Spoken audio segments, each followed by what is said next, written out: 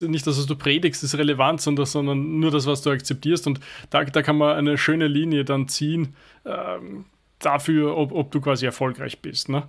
Weil, weil, ja, du kannst dir deine Gedanken gemacht haben und du kannst das predigen die ganze Zeit, aber wenn du es nicht, also nicht, nicht nachverfolgst und dann nicht äh, sicherstellst, dass das, was du dir vorstellst, dass deine Erwartungen und, und deine, deine, deine Wünsche im weitesten Sinn auch dann in die Tat umgesetzt werden, dann äh, musst du dir auch wieder die Frage stellen, wie viel liegt dann am anderen, dass er es nicht gemacht hat? Ja, okay. Aber wie, sehr, wie groß war dein Beitrag dazu, dass du es einfach nicht entsprechend eingefordert hast?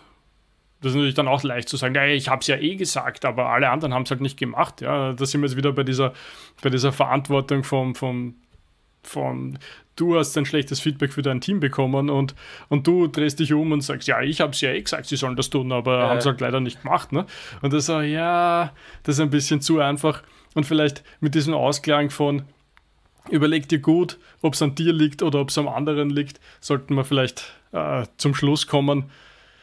Ja, eh, es kann schon sein, dass es am anderen liegt, aber es gibt da eine Riesenchance, noch einmal zurückdenkend, dass es auch an dir liegt.